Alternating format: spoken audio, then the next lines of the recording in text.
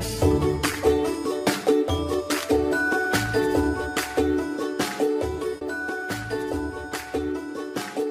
everyone, it's me JP from Unique Tutorials. Today in this video I will show you how to change RAM clock speed or frequency in BIOS.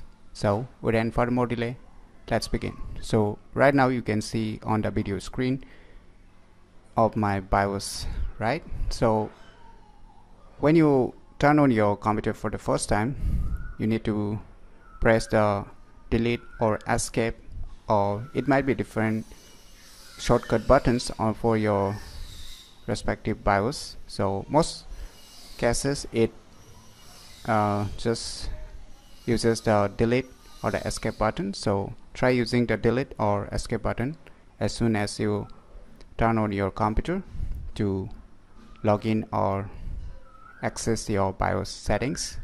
So once you see this kind of BIOS setup then now here what you need to do? You can see a lots of options right?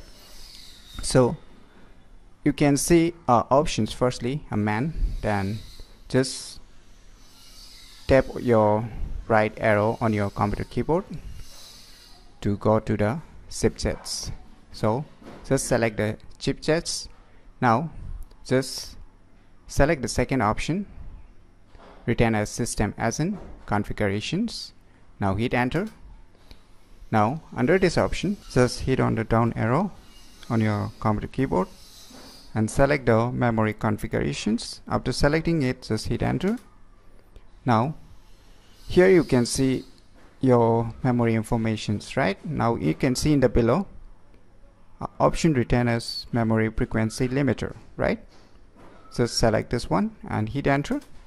Now you can see uh, tons of RAM clock speed that you can manually set up for your respective RAM or the respective BIOS. So you can see here the lowest configuration that I can set for my RAM clock speed is 1067 and uh, maximum I can set it to 1600 actually my RAM supports up to 1600 I don't know why it's showing up to 2667 since the maximum value it's showing here sub is for the DDR4 right now I'm using a DDR3 RAM. So DDR3 RAM sup supports maximum up to 1600 so by default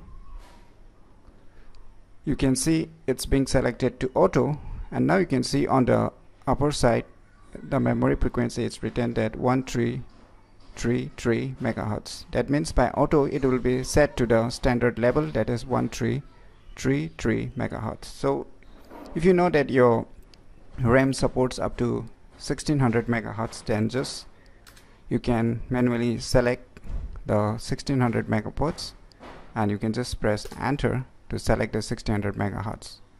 So after that what you can do is you can just press F10 on your computer keyboard as written on the right side. You can see some options are written.